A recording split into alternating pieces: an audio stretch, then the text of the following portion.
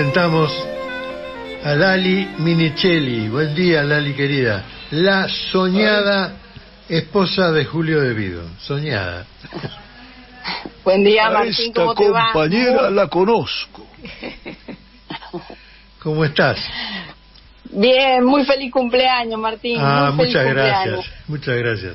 Un día, un día lindo de expectativa para cumplir años, la verdad, un domingo especial, Un día peronista. Un día peronista. sí. Y yo nací el 2 de octubre del 45, dos con los dos dedos. Así que te Mirá. imaginarás. Bueno, que pases un hermoso día. bueno, sabemos que en el juicio de vialidad eh, ustedes tienen eh, la expectativa de, del- la declaración de asociación ilícita porque ahí todo el mundo eh, te cae en el mismo en el mismo hoyo, digamos. Lo cual este, significa todo un atentado a toda una generación que ha hecho una obra extraordinaria en la Argentina como fue la del general Perón y fue la de Néstor y Cristina. Sí, la verdad que sí, creo que es el motivo por el que se encuadró como asociación ilícita también este, esta búsqueda de la verdad, en realidad de búsqueda de verdad tuvo bastante poco, ¿no?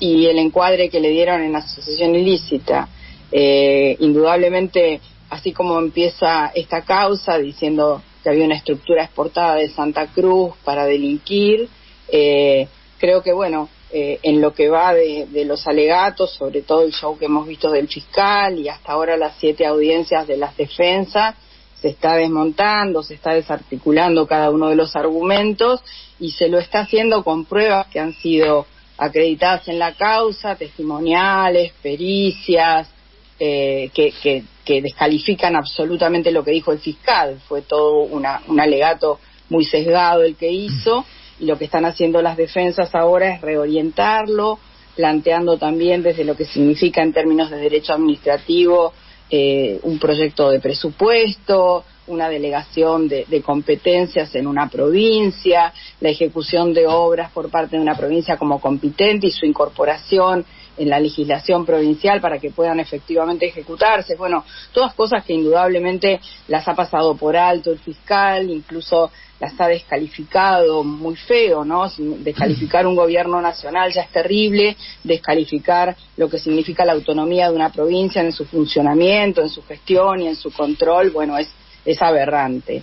Bueno, Así que tiene poco estamos que ver. en este- Tiene poco que ver incluso con la doctrina, digamos, pues un gobierno ejecuta, por un lado tiene el derecho del príncipe y por otro lado, eh, o sea, el que toma las decisiones, digamos, está manejando una cosa pública, tiene que encarar obras, tiene que encarar responsabilidades, tiene que encarar su ejecución, lo que la comunidad le pide, etcétera, usa el presupuesto del Estado y entonces toma decisiones de príncipe en el sentido de que él sabe y la- los hechos después lo demuestran o no, este, que esa decisión está bien tomada. Este, pensar que un gobierno es una asociación ilícita es pensar que la única asociación lícita es que los empresarios hagan lo que se les den la gana. Sí, no, indudablemente esto va más allá, te diría, de un hecho del príncipe, porque en realidad el hecho del príncipe o de discrecionalidad administrativa o de decisión administrativa reglada, como es este el caso, eh, no solo parte del Poder Ejecutivo, sino que también fue el Legislativo el que ha tenido una, una intervención eh, absolutamente democrática, donde se discute realmente la política. Vos fíjate que en esta causa eh, lo que se atribuye es que el, el Ejecutivo ha direccionado obra pública en la provincia de Santa Cruz, pero es obra pública que estaba en todos los proyectos de presupuesto, incluso se acreditó en este expediente que eh, cada vez que la oposición eventualmente planteaba otro proyecto de presupuesto, nunca se tocaban las planillas de redistribución presupuestaria de obra pública en las provincias, ¿no? Tocaban otros temas, eventualmente vinculados al ANSES, vinculados a otros mecanismos de recaudación de fondos, pero nunca se tocaron las planillas de redistribución presupuestaria, que es el motivo por el que, si se quiere, está Julio imputado en esta causa, ¿no? Y en las planillas de redistribución de presupuestaria interviene la Oficina Nacional de Presupuesto, el Ministerio de Economía y los jefes del gabinete, que son los administradores eh, del Estado, ¿no? En términos de, la gestión operativa y de la ejecución del presupuesto. Así que es todo, eh, realmente es todo una barbaridad lo que se planteó y con este criterio de jefes de gabinete y de ministros de Economía faltan actores. Indudablemente faltan actores en esta causa porque se les cortaba el direccionamiento de la imputación hacia funcionarios provenientes o originarios de la provincia de Santa Cruz. A mí me parece, yo tengo claro, digamos, la posición.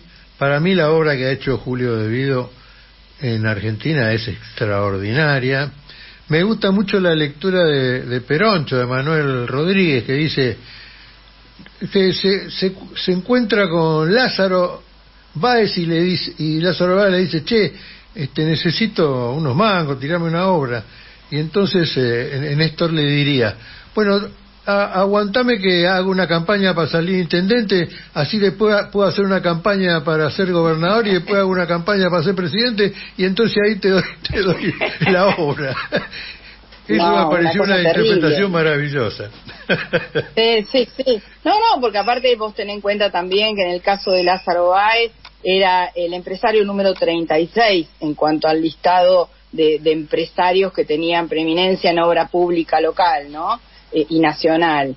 Eh, y si se quiere, la adjudicación de obras a la provincia de Santa Cruz significó un 0,03%, o sea, insignificante en términos de que sea esa, digamos, una forma de financiarse por parte de los expresidentes. Una locura por donde la mires. No tiene ni sustento fáctico, ni sustento jurídico, ni sustento en la realidad, ni, ni sustento en lo que pasó en todo el país. Bueno, y eso, eso da pie a otra cosa, que es, todos sabemos, y los que no lo saben, sépanlo, que el juicio es una excusa para prohibir a Cristina y a todo su equipo.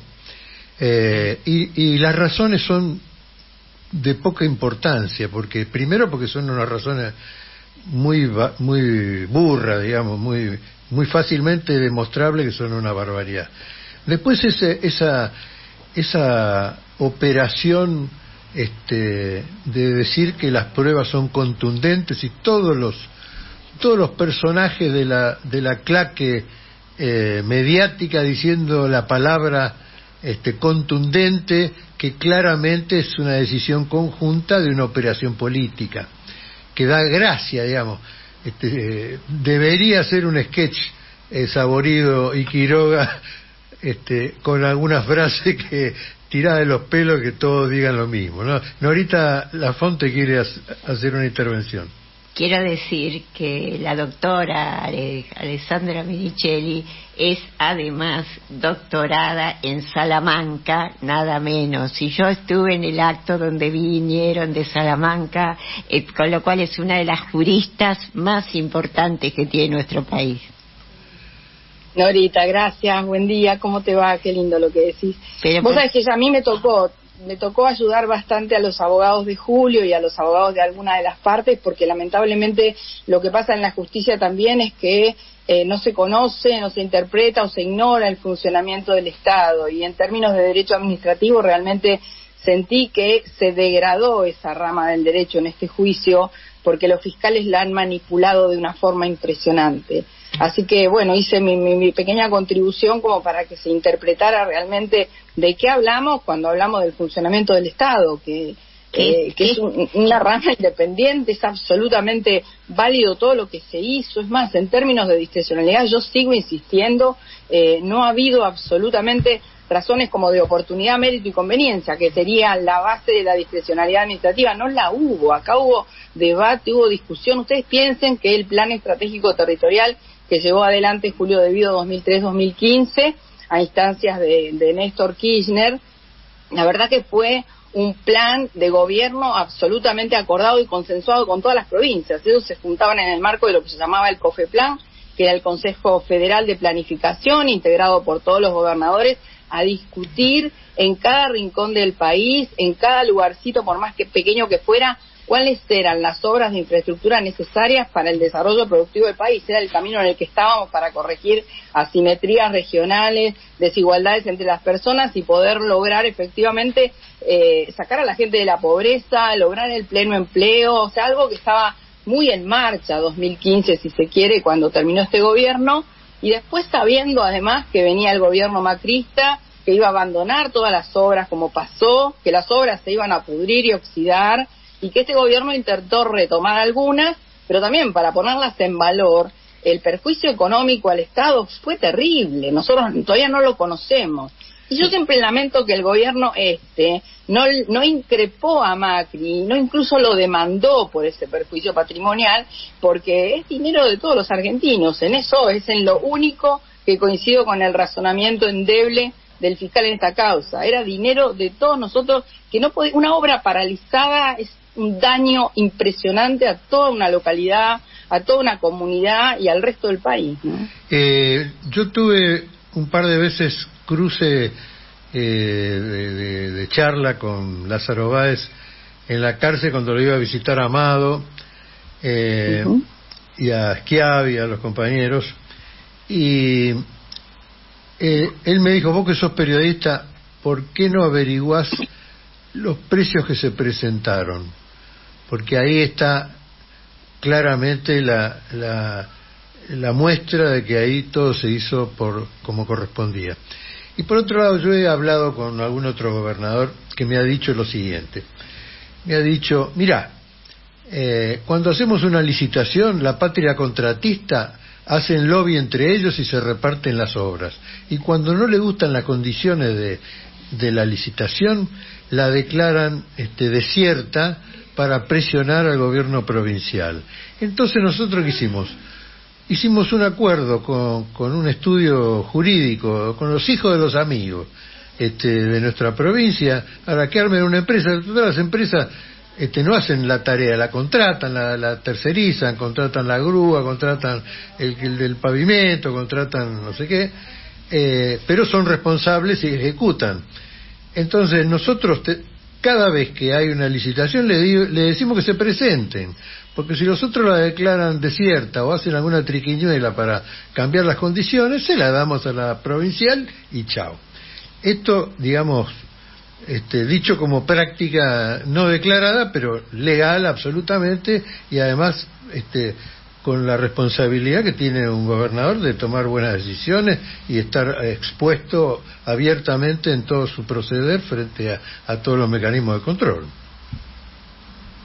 Sí, eh, mira, mañana mañana es la octava audiencia de, las defensas de los imputados, ¿no? la, octava, audiencia de alegatos. Va a ser muy interesante escuchar al abogado de Lázaro Báez porque efectivamente va a contar todo lo que las pericias eh, no pudieron demostrar tampoco, que acá ha habido sobreprecio, que acá ha habido obra certificada y no ejecutada, todo lo que omitió deliberadamente el fiscal de contar.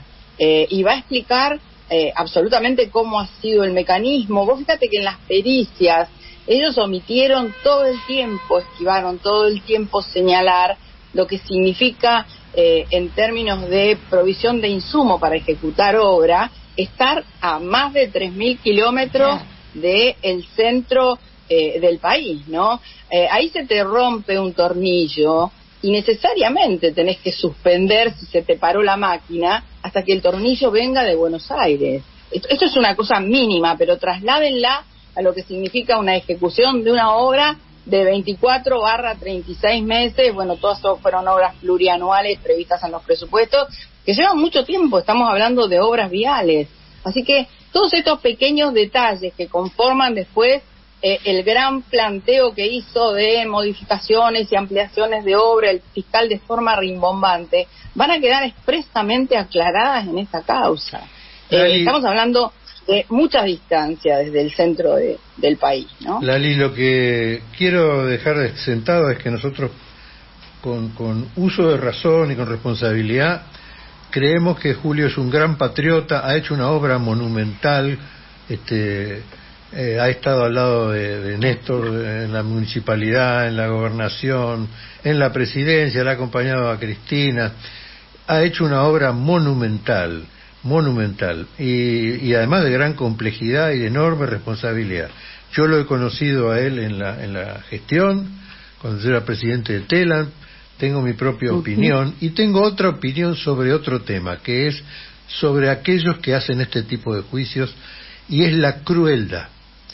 Eh, porque no solamente tiene objetivos políticos, digamos, de, desbancar a uno o a otro, eh, de de sacarlos de, la elección, porque yo recuerdo que son los mismos actores que han actuado con crueldad tirando 300, eh, 300 personas con bombas en la Plaza de Mayo, este, e hiriendo y, y, discapacitando a mil y pico de personas, que han puesto la bomba en la terminal catedral del subte, matando ocho personas y hiriendo a 38, que han, que han tirado el gasoil de, los aviones arriba de un micro en la Plaza de Mayo y murieron 100 chicos que iban al colegio.